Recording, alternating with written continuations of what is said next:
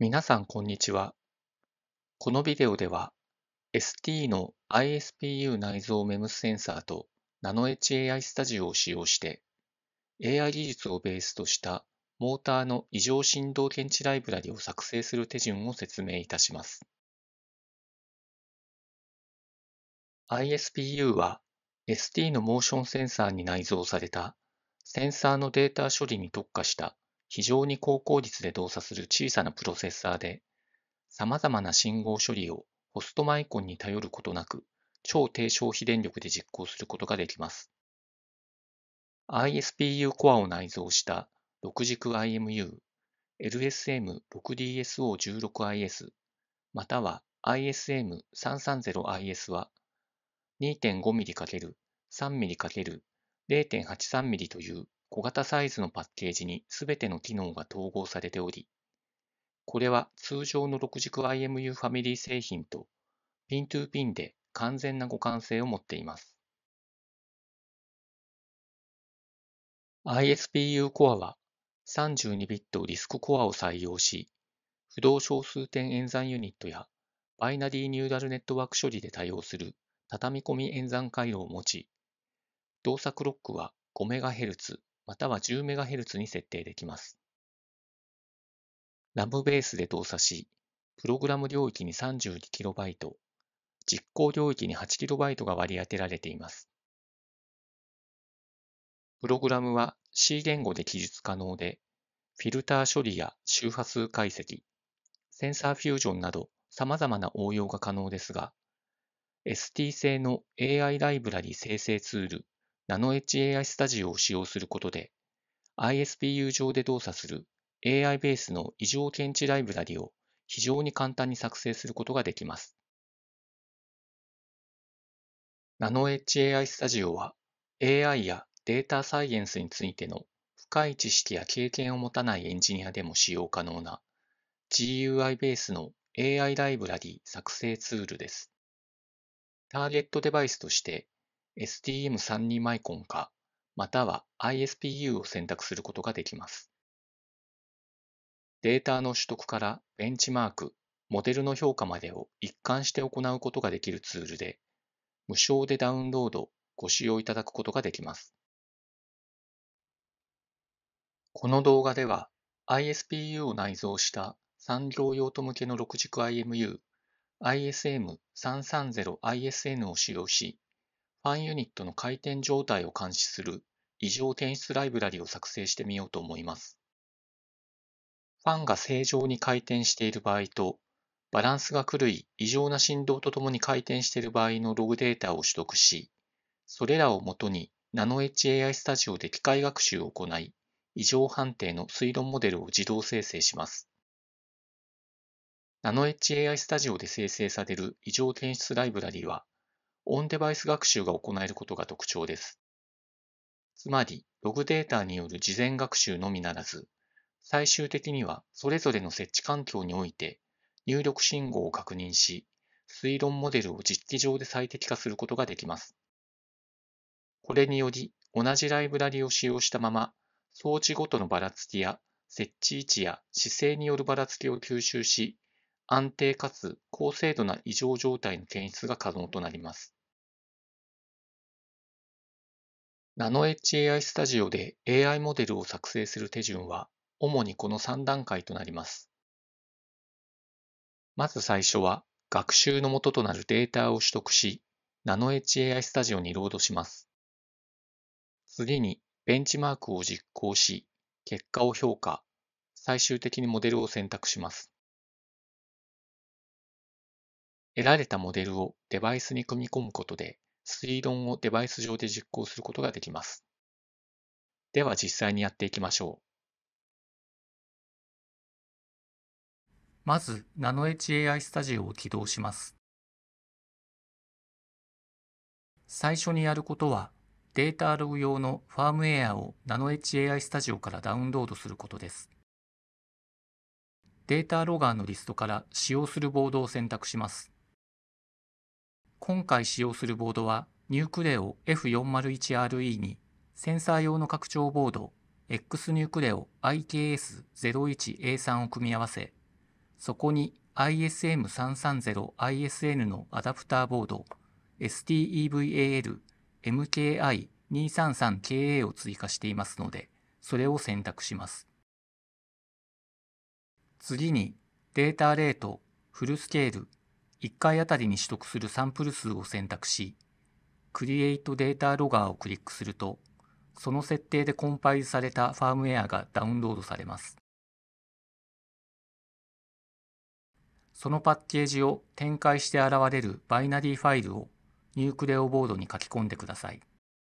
ダウンロードした ZIP ファイルを展開して得られる .bin ファイルをエクスプローラー上で Nucleo ボードにドラッグドロップするだけでファームウェアを書き込むことができます。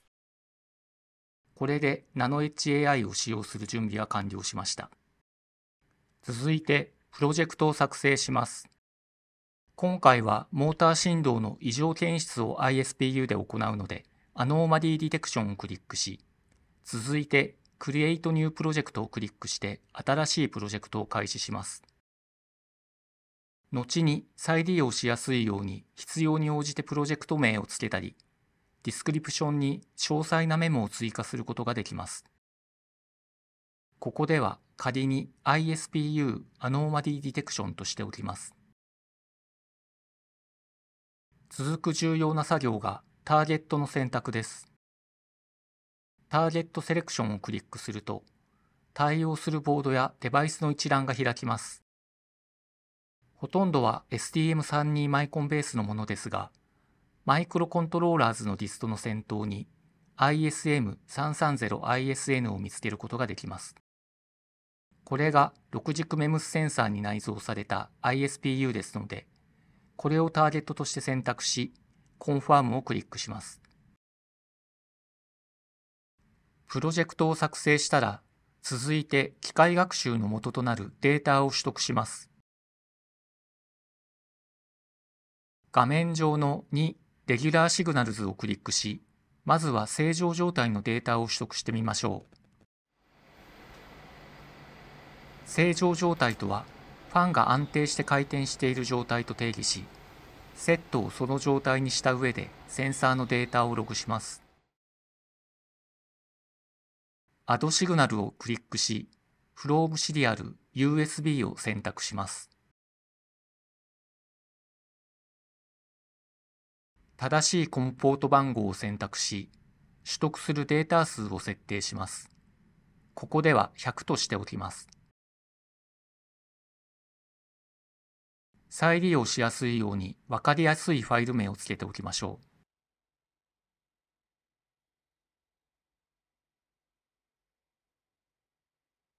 ファンが安定して回転し、外部から余計な振動が加わっていないことを確認し、スタートをクリックします。このようにライブでデータの波形を確認しながらファイルに記録されます。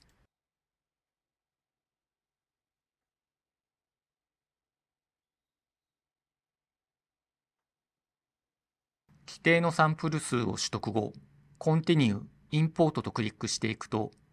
分散や周波数解析結果など、データの分析結果が表示されますので、データに問題がないかどうか簡単にチェックすることができます。これで最低限のデータは取れましたが、ここではもう少し追加で正常状態のデータを取得しておくことにしましょう。今回はファンの回転数や設置状態を変えて、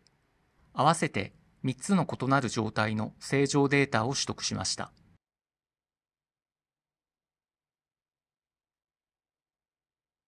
良好な結果を得るためには、想定される装置ごとのばらつきや状態に対応した、なるべく多様な状態のデータを取得しておくべきです。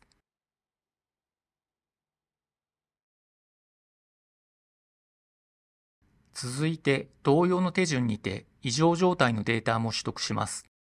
3、アブノーマルシグナルズをクリックしてください。画面の UI は正常状態のデータ取得の場合と全く同じです。ファンの異常状態を再現するために、今度はファンの羽にクリップを取り付けて、わざとアンバランス状態を起こすことにしました。この状態でファンを回転させると、羽のアンバランスによりファンユニット全体が大きく振動します。これにより異常状態をエミュレートします。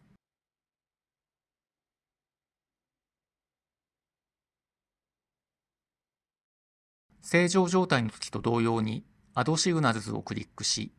コムポートを選択、データ量を決め、わかりやすいファイル名をつけてログを開始します。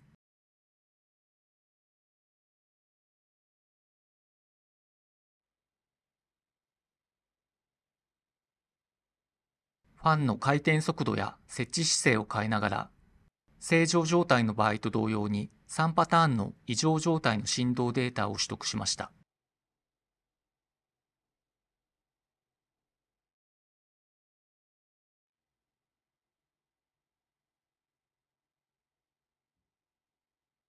これでデータは揃いました。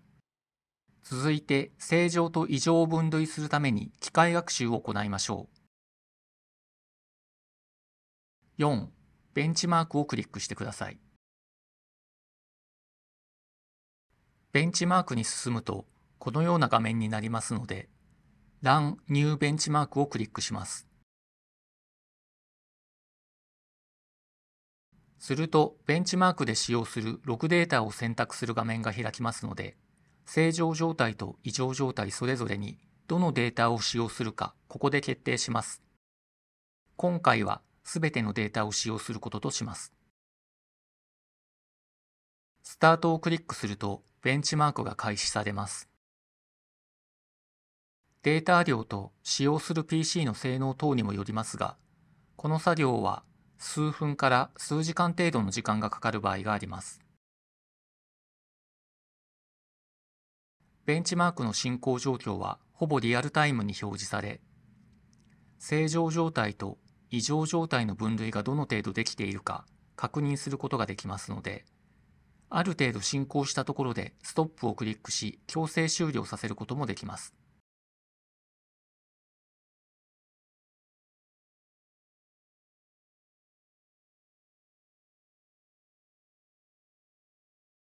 学習がある程度進むと、すでに異常状態の分類精度は100%に達していますので、性能面ではここで中止しても良いでしょう。しかし、メモリーサイズなど他の点でもっといい結果が得られるかもしれないので、もう少し進めてみることにします。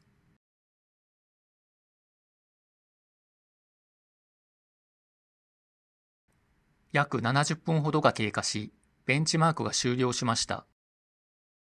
ベンチマークを完了、または途中終了したら、次は5バリデーションに進みます。ここにはベンチマークで実行された様々なモデルについて分類性能やメモリーサイズなどの結果が一覧で表示されています。一番上には NanoEdgeAI Studio による評価が最も高いライブラリーが表示されています。レポートのアイコンをクリックすると、詳細を見ることができます。特に問題はないようなので、今回はおすすめに従ってこのライブラリーを採用することにしましょう。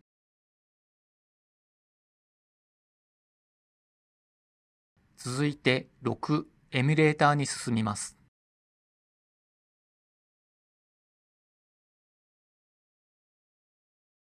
エミュレーターでは学習に使ったデータとは別のデータファイルやリアルタイムストリームを使って先ほど選択したライブラリーの実動作を確認することができます。まず、イニシャライズエミュレーターをクリックし、初期化を行います。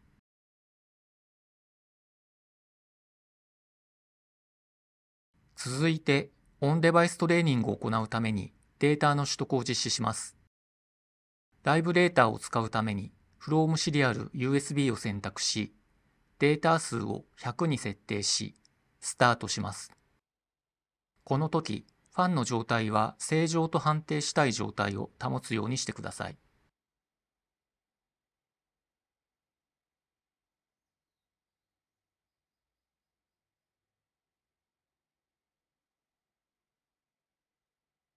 オンデバイストレーニングが終了すると判定モードに移ります。GoTo ディテクションをクリックします。再び From Serial USB を選択し、今度はデータ数の制限を設けずにスタートします。右側に表示されるシミラリティが100%に近いほど正常に近いことを表しており、逆に値が低いほど異常状態に近いことを示しています。ここでファンの設置姿勢を垂直に変更してみると、このようにシミラリティは非常に低い値を示し、結果は異常となります。エミュレーター機能はこうして実際にベンチマークによって得られたライブラリーを使い、異常判定が期待した通りに行われるか、新たなデータを用いて試してみることができる機能となります。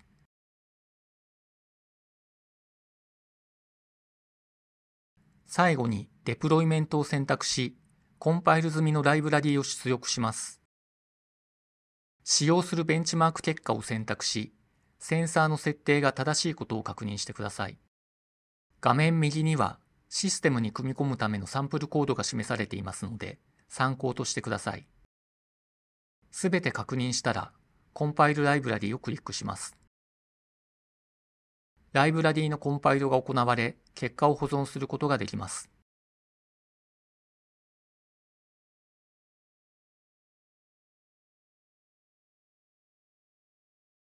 ナノ HAI スタジオ上での作業は以上となります。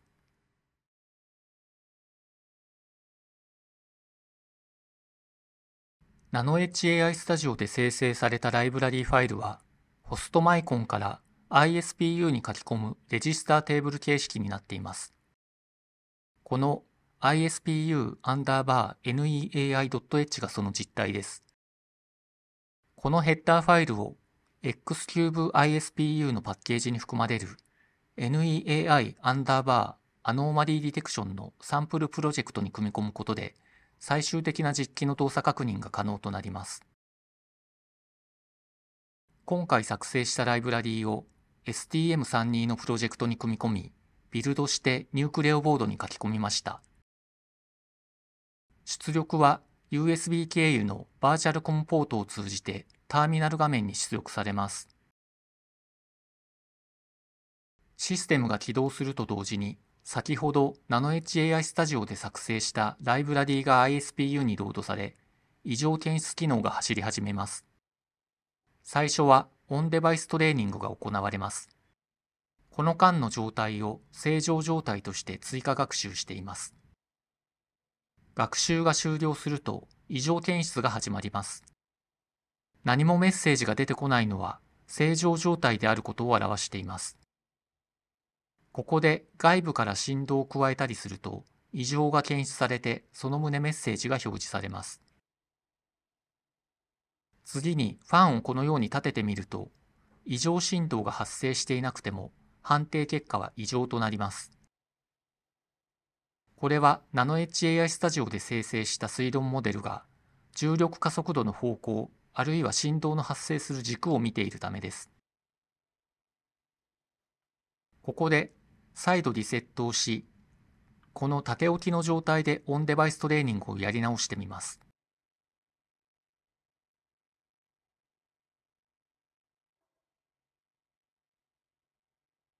すると今度は立てたこの状態で正常と判定されますが、